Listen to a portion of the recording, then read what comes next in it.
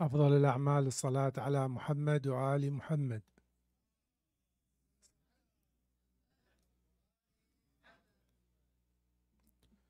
بسم الله الرحمن الرحيم. الحمد لله رب العالمين وصلى الله على محمد وآله الطيبين الطاهرين.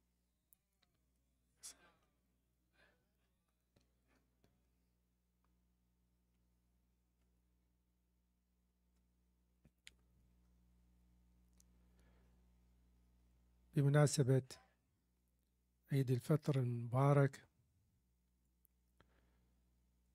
نقدم أسماء آيات التبريك لسيدنا ومولانا صاحب العصر والزمان عجل الله تعالى فرجه ولمراجعنا العظام وللمؤمنين والمسلمين في كل مكان. والعيد مناسبة من المناسبات الدينية. وأيامه من أيام الله. واليوم نتحدث عن شيئين. الشيء الأول هو فلسفة المناسبات بشكل عام المناسبات الإسلامية. والشيء الثاني خصوص الاحتفال أو فلسفة الاحتفال بالعيد. الله سبحانه وتعالى خلق الإنسان لغرض الهداية لغرض التكامل لغرض الارتقاء. فكل المناسبات سواء كانت مناسبات الحزن أو مناسبات الفرح بل كل الأحداث التي آه، آه، يمر بها المسلم بشكل عام والمؤمن بشكل خاص هي تصب بهذا الاتجاه. وعليه نلاحظ مثلا كمثال عشناه قبل أيام.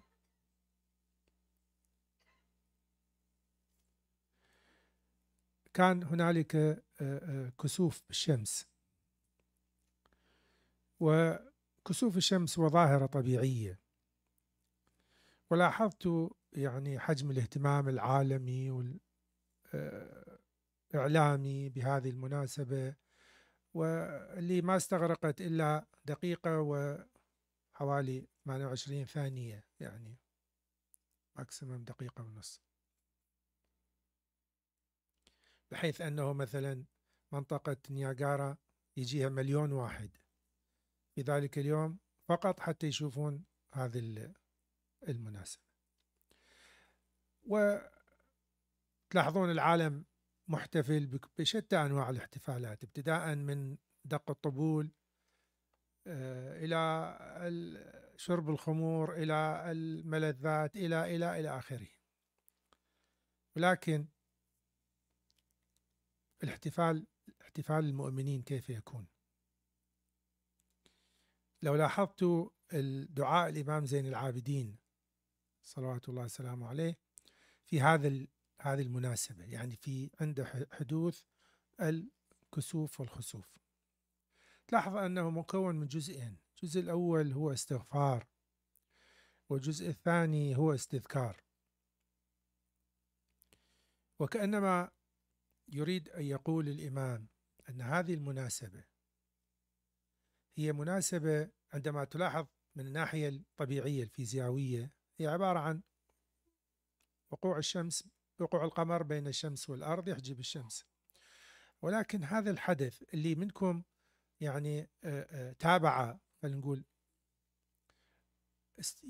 لابد أن يستشعر أنه هذا النظام الكوني اللي إحنا قايمين عليه ومعتادين عليه ممكن في لحظات أن يتغير. وبتغير بحيث تلاحظ أنت تلاحظ يعني أنت هي هي كلها عبارة عن يعني 88 ثانية. تلاحظ شلون يتحرك سرعة الحركة فالله سبحانه وتعالى القادر على أن يقلب الكون. قادر على أن يخلق ويقلب الكون. لذلك تلاحظ أنه دعاء الإمام زين العابدين كان ما بين الاستغفار باعتبار أنه إحنا نعيش لحظات تغيير. وهذه لحظات التغيير بالمناسبة. نعيشها إحنا بمختلف مناسبات حياتنا ما بين ال ال ال النوم والصحوة.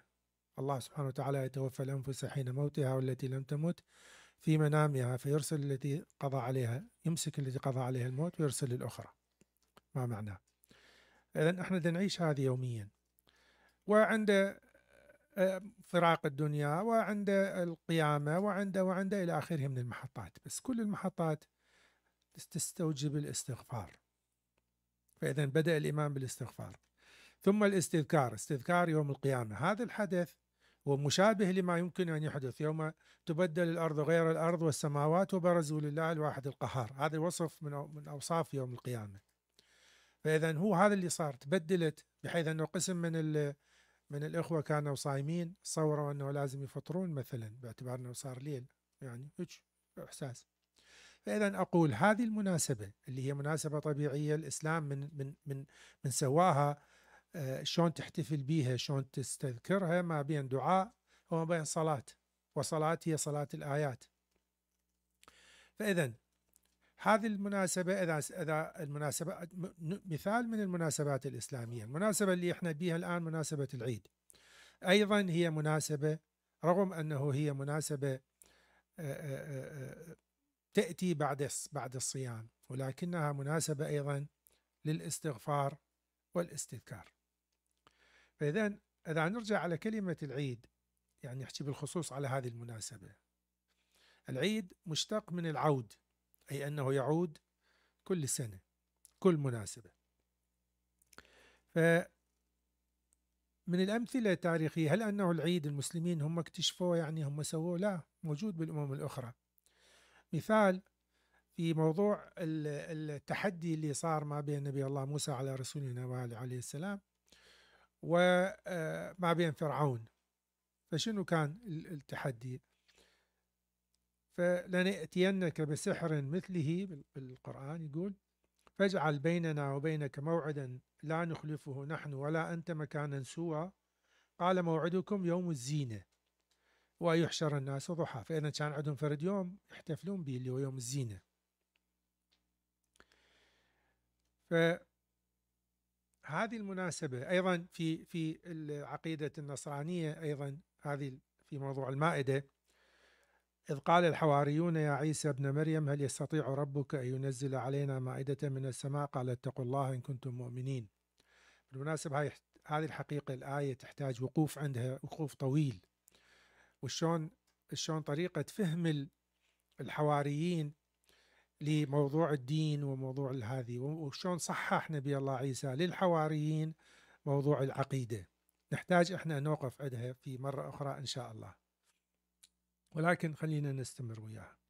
قال اتقوا الله إن كنتم مؤمنين. قالوا نريد أن نأكل منها وتطمئن قلوبنا أن قد صدقتنا. هذا نحكي الحواريين بالمناسبة. ونكون عليها من الشاهدين. قال عيسى بن مريم اللهم ربنا أنزل علينا مائدة من السماء تكون لنا عيدا.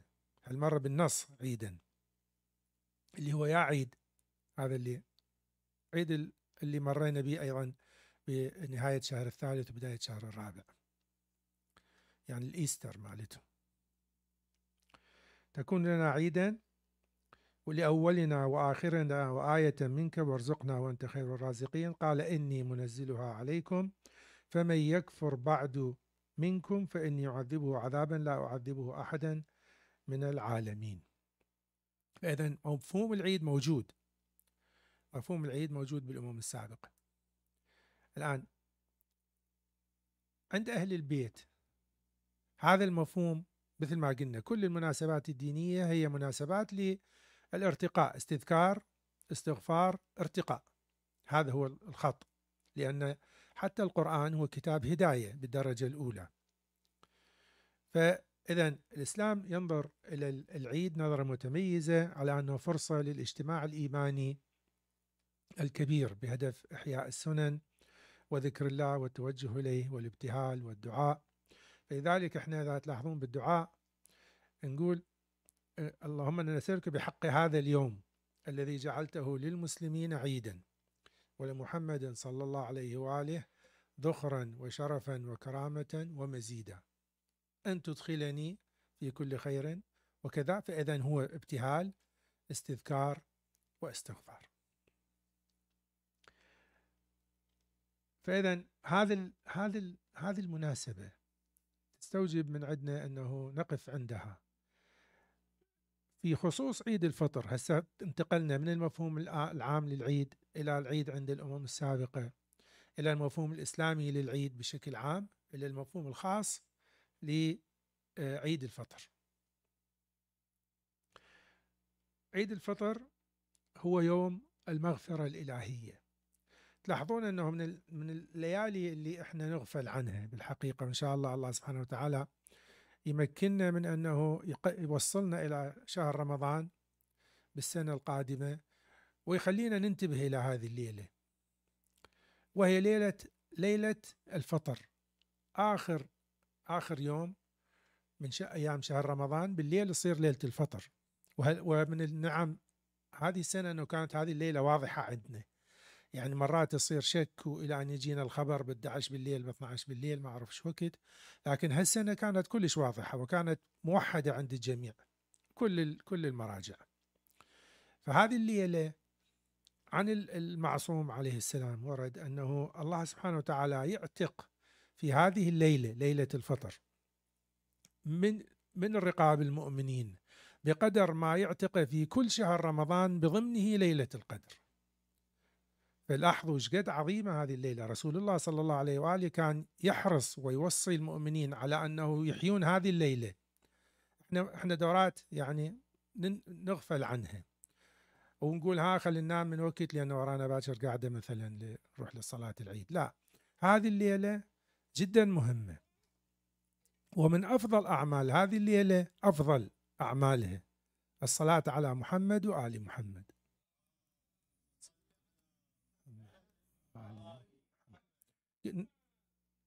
أحسنت أبو عباس. رفع الصوت بالصلاة على محمد وآل محمد وزيل النفاق من القلب.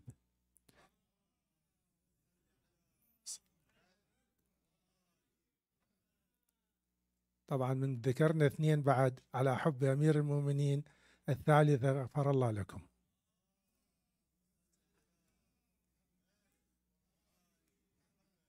إذا إحنا ما طلعنا من جلستنا كلها وشهر رمضان كله إلا بهتل الصلوات إحنا رابحين إن شاء الله.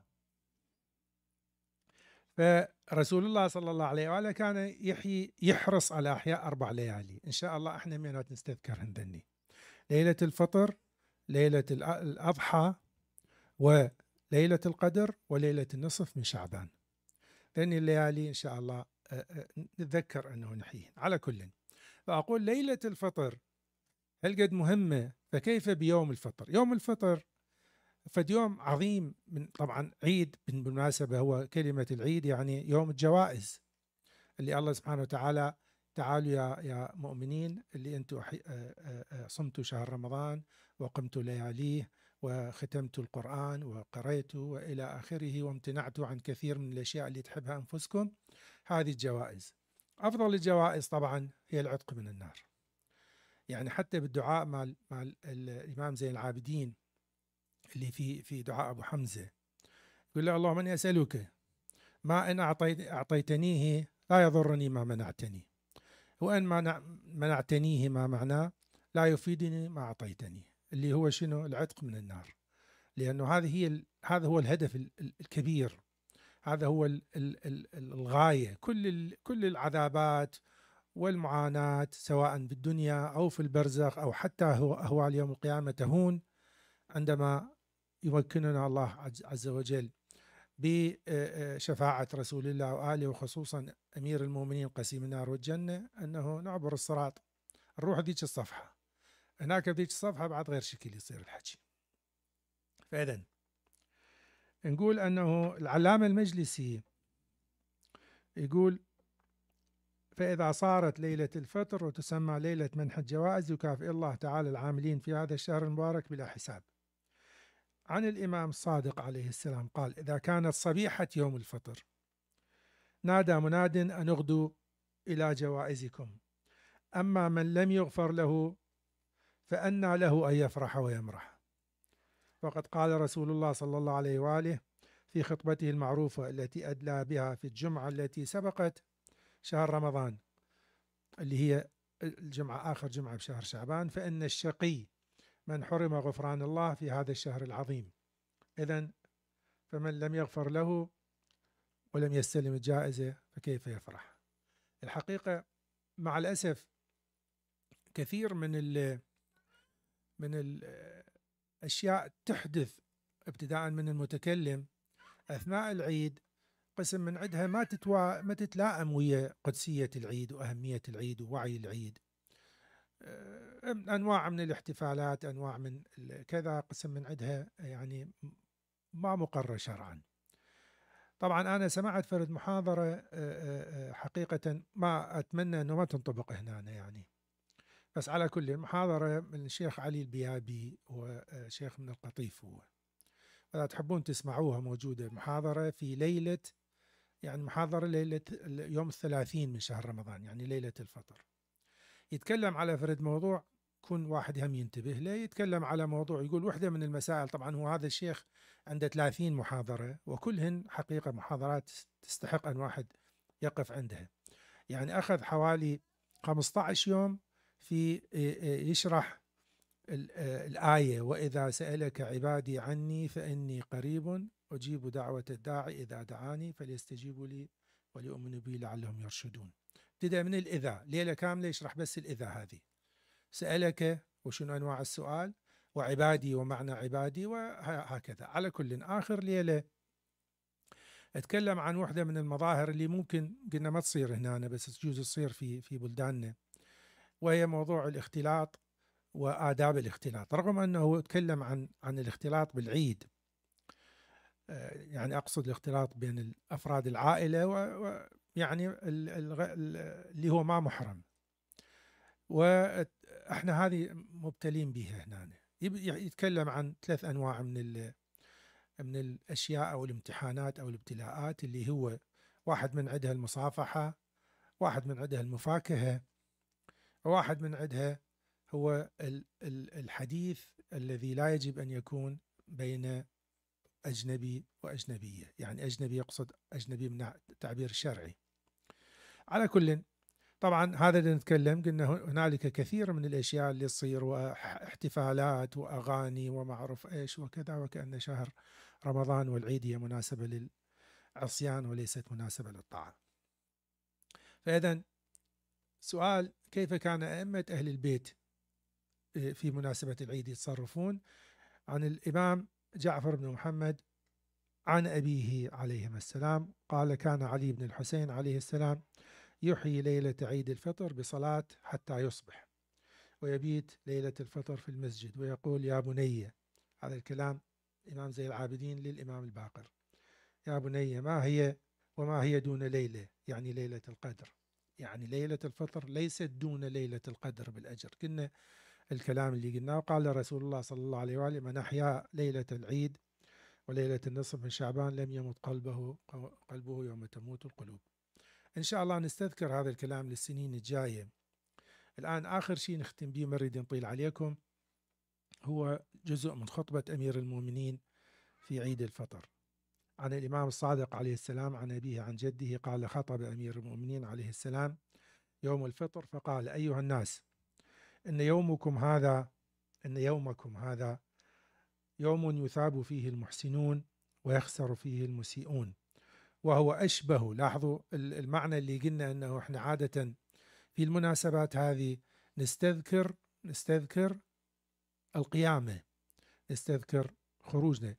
ال ال الكلام استذكار القيامة ليست مناسبة للحزن. كثير من الناس يتشائمون وهذه لا هي بالحقيقة هي بالحقيقة إقرار عقائدي أولا وثانيا آه، تحضير لهذه هذه.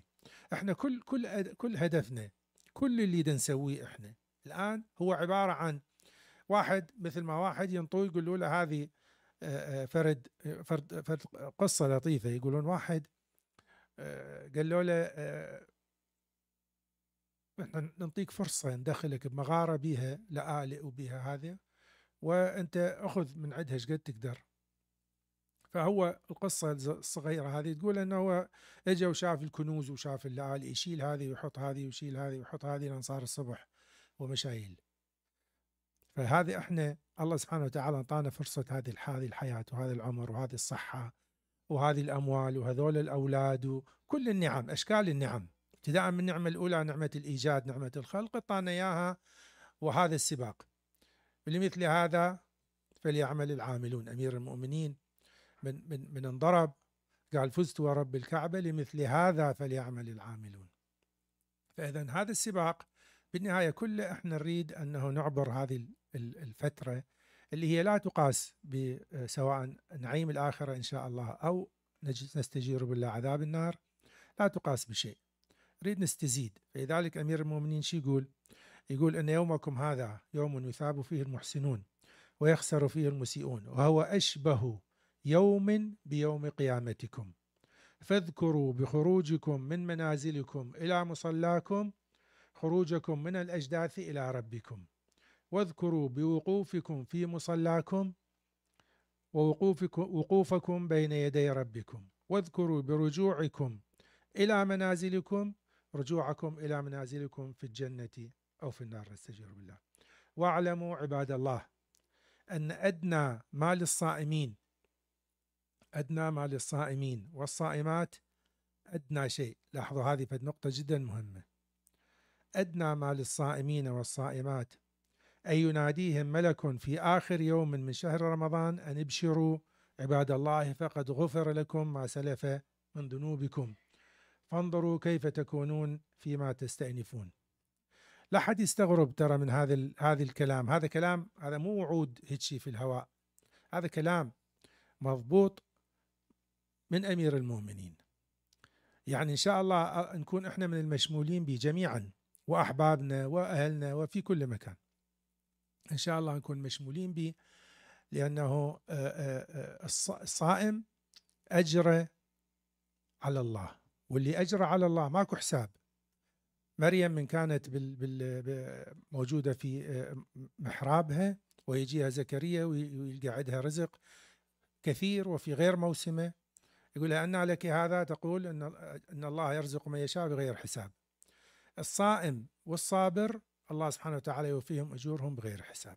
نسأل الله أن يجعلنا ممن تقبلت أعمالهم وأن يرزقنا العود في شهر رمضان القادم والاستزادة من الخيرات إن شاء الله. ونسأل الله أنه يرحم أموات المؤمنين والمؤمنات وخصوصا العلوية أم علي أم, أم, أم أخينا أبي حسن القزاز وأبو أحمد القزاز أبو محمد أحمد القزاز العلوية كريمة السيد محمد باقر الحيدري التي وافاها الأجل اليوم. إلى روحها وأرواح المؤمنين والمؤمنات الفاتحة مع الصلاة على محمد وآل محمد.